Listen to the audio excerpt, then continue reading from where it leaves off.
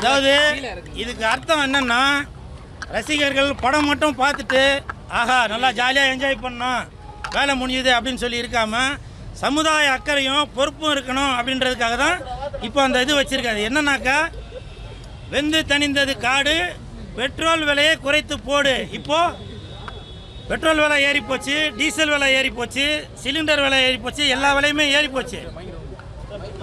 அதனால் படம் பார்க்குற ரசிகர்கள் தன்னுடைய குடும்ப சூழ்நிலையை உணர்ந்து நல்லா படித்து சம்பாரித்து அவங்களோட குடும்பத்தை பாருங்க அப்படின்னு எந்த ஒரு நடிகராக இருந்தாலும் சரி முதல்ல அந்த கருத்தையும் முன்னுரிமை வைங்க.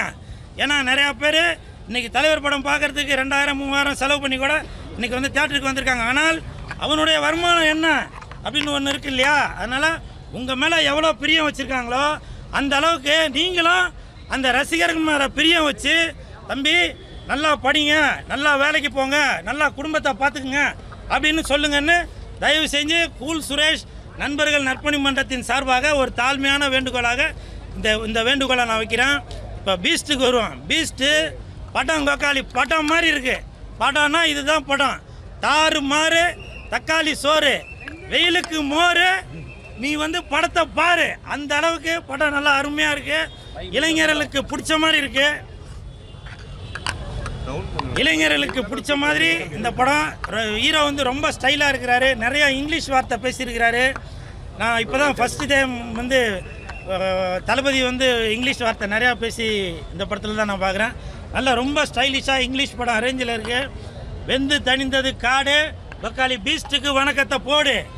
வெந்து தணிந்தது காடு வப்ப மௌன விஜய் சாருக்கு வணக்கத்தை போடு.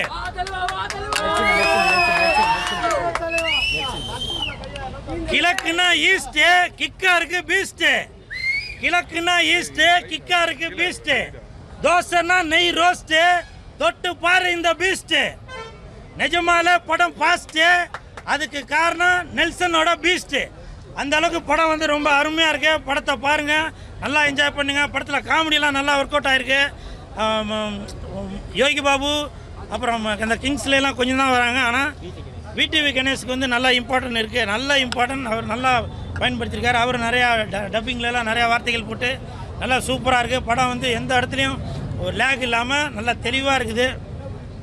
அதே மாதிரி நிறைய பேர் வந்து என்கிட்ட கேட்டாங்க நீங்கள் என்ன சார் எல்லா நடிகர்களுக்குமே போய் சப்போர்ட் பண்ணுறீங்கன்னு நான் சினிமாவில் தானேப்பா இருக்கேன். சினிமா வாழணும்னு நான் நினைக்கிறேன். சினிமா நல்லா இருந்தால் நான் நல்லா இருப்பேன். என் குடும்பம் நல்லா இருக்கும். என்ன மாதிரி இன்னும் பல பேர் நல்லா இருப்பாங்க. தேட்டருக்காரங்க நல்லா இருப்பாங்க. தேட்டரில் டோக்கன் போடுறவங்க நல்லா இருப்பாங்க. இப்படி எவ்வளோ பேர் இருக்காங்க. போஸ்டர் ஓட்டுறவங்க ஏன்னா இதுவும் ஒரு தொழில் தான் சரிங்களா?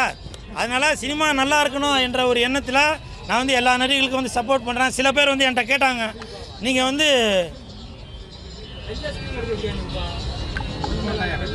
நிறையா பேர் வந்து என்கிட்ட கேட்டாங்க சார் நீங்கள் வந்து எல்லா நடிகர்களுக்கும் சப்போர்ட் பண்ணுறீங்களே அவங்களாம் உங்களுக்கு பட வாய்ப்பு தராங்களா? அப்படின்னு சொல்லி கேட்டாங்க. நான் வந்து பலனை எதிர்பார்த்து எந்த வேலையும் செய்கிறதில்ல கடமையே செய்கிறேன் அதுக்கப்புறம் ஆண்டவன் விட்ட வழி. எனக்கு இன்ன வரைக்கும் எனக்கு உதவி பண்ணிட்டு வர்றது என்னுடைய நண்பன் சந்தானம். நடிகர் சந்தானம் அவர்கள் தான். சினிமா வாய்ப்பாக இருந்தாலும் சரி இல்லை என்னோட பர்சனல் தேவைகளாக இருந்தாலும் சரி என்னை கேட்காமலே எனக்கு பல உதவிகள் பண்ணி வருவர். வெந்து தணிந்தது காடு என் நண்பன் சந்தானத்துக்கு வணக்கத்தை போடு. அதே மாதிரி டைரக்டர் பி வாசு சார் அவங்களும் எனக்கும் சரி என்னுடைய குடும்பத்துக்கும் சரி ரொம்ப நன்றி கடன் நாங்கள் அவருக்கு பட்டிருக்கிறோம். என் குடும்பத்தின் முதலாளியான அவருக்கு இந்த நேரத்தில் வெந்து தணிந்தது காடு. டைரக்டர் பி வாசு சாருக்கு வணக்கத்தை போடு. ஸோ அந்த அளவுக்கு சினிமா மேலே ஒரு பிரியம் இருக்கிறதால தான் அவங்களும் என் மேலே பிரியமாக இருக்காங்க. நானும் அவங்க மேலே பிரியமாக இருக்கேன். அப்புறம் சில பேர் கேட்டாங்க உங்களை பற்றி கமெண்ட்ஸ்லாம் வந்து நிறையா வருதே அப்படின்னு. நான் கமெண்ட் வரதை பற்றி கவலைப்படவே இல்லை. ஏன்னாக்கா கமெண்ட் நிறையா வருதுனாக்கா அவன் வளர்றான்னு அர்த்தம். ஒருத்தன் நல்லா இருந்தான் அப்படின்னால பக்கத்து வீட்டுக்காரனுக்கு பிடிக்காதுல்ல. அப்படிப்பட்ட சமூகத்தில் தான் நம்ம வாழ்ந்துட்டு இருக்கோம். அதனால் கமெண்ட் பண்ணுறவங்களுக்கு மிக்க நன்றி. உங்களுக்கும் எனக்கும் சொந்த பந்தம் இருக்குது அதனால தான் என்னை திட்டுறீங்க. நான் யார்? உங்கள் அக்கா வீட்டுக்காரு. நான் யார்? உங்கள் தங்கச்சி வீட்டுக்காரு. நான் யார்? உங்கள் தாய் மாமன் நான் உங்கள் சித்தப்பா. நான் உங்கள் பெரியப்பா. நான் உங்கள் அண்ணன். உங்கள் தம்பி பக்கத்து வீட்டுக்காரன். அதனால் நம்மளுக்குள்ளே வந்து சொந்த பந்தங்கள் இருக்குது இதில் தான் இந்த கமெண்ட் பண்ணுறதுல தான் நம்ம வந்து இந்தியர்கள் அப்படின்னு சொல்கிறத காட்டுறோம். அப்படி தானே இப்போ வந்து ஒருத்தனுக்கு உடம்பு சரியில்லை ரத்தம் தேவைப்படுதுன்னு ஒரு ஒரு ஒரு ட்விட்டு ஒன்று போடுங்க. வாக்காளி ஒரு பையா ரிப்ளை பண்ண மாட்டான். அப்படிப்பட்ட சமூகத்தில் தான் நம்ம வாழ்ந்துட்டுருக்கோம் அதனால் படம் பார்க்குறதோட மட்டும் போயிடாமல் சமூகத்துக்கான அக்கறையும் நமக்கு வேணும். அதாவது ரோட்லேயோ இல்லை ஹாஸ்பிட்டலையோ யாருக்கோ ஒருத்தர் உடம்பு சரியில்லைன்னா நம்ம குடும்பத்தில் ஒருத்தருக்கு உடம்பு சரியில்லைனாக்கா நம்ம எப்படி நினைப்போம்? அதனால தான் அதனால் தயவு செய்து மக்களுக்கும் உதவ வேண்டும் அப்படின்ற ஒரு கருத்தை நடிகர்களும் அந்தந்த ரசிகர் ம- மன்றத்தை சேர்ந்தவங்களுக்கு இது ஒரு தாழ்மையான கருத்தாக சொல்லி அவங்களுக்கும் புரிய வைக்கணும்னு கேட்டுக்கிறேன். படம் ரொம்ப ஸ்லோவாக போகுது நிறைய அப்படிலாம் அப்படிலாம் படம் ரொம்ப ஃபாஸ்ட்டு நெல்சனோட பீஸ்ட்டு புரியுதுங்களா? படம் ஸ்லோவெலாம் இல்லை. கதைக்கு அப்படி தான் இருக்க முடியும். அதாவது ஸ்லோனாக்கா இப்போ நீங்கள் எதை வச்சு சொல்கிறீங்கன்னு தெரில ஹீரோ அப்படிங்க அம்மாவில் அப்படி ஆ- ஹீரோ காலி அப்படி ஹை ஸ்பீடில் அப்படி நடந்து வராருன்னு வச்சுங்க. அது ஸ்லோவாகாது அதுதான் பில்டப்பு ஸோ அந்த மாதிரி தான் ஒரு ஒருத்தங்களுக்கு ஒரு ஒரு ஸ்டைல் இருக்குது இப்போ நம்ம மணிரத்னம் சார் படம் பார்க்கும்போது அதை பார்க்கறதுக்கு ஸ்லோவாக தான் அது அவரோட ஸ்டைல் மிஸ்கின் சார் படம் பார்க்கும்போது அப்படியே ஸ்லோவாக தான் இருக்கும் அது அவரோட ஸ்டைல் இல்லையா? அந்த மாதிரி. இப்போ நம்ம ஹரி சார் படம் பார்க்கும்போது பக்காலி ஸ்கார்பியோ இங்கே ஏற அங்கே போய் இறங்கிறான். இல்லையா?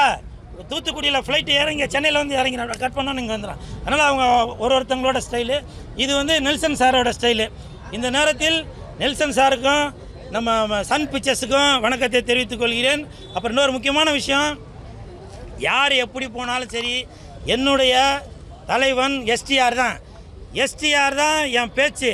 எஸ்டிஆர் தான் என் மூச்சு. எஸ்டிஆர் தான் கொக்காளி என் வாட்சு. ஓடிக்கிட்டே இருப்பேன். சரிங்களா? மிக்க நன்றி. ப்ரோ ஆ. எஸ்டிஆர் கூட சி- கூடிய சீக்கிரத்தில் நடிப்பீங்களா? ஊரியாவா நான் நடிச்சுன்னு தானே இருக்கிறேன் ப்ரோ ஆ. படம் வந்து கூத்தா பேட்டர்ல இருக்குதுன்றாங்க எப்படி எப்படி எப்படி அப்படிலாம் இல்லை. ஊருக்காக இதுக்கு சம்மந்தம் இல்லை. என்னவா? அப்படிலாம் அப்படிலாம் இல்லை. நல்லா தான் இருக்குது நல்லா இருக்குது சாங்குங்க எல்லாமே நல்லா தான் இருக்குது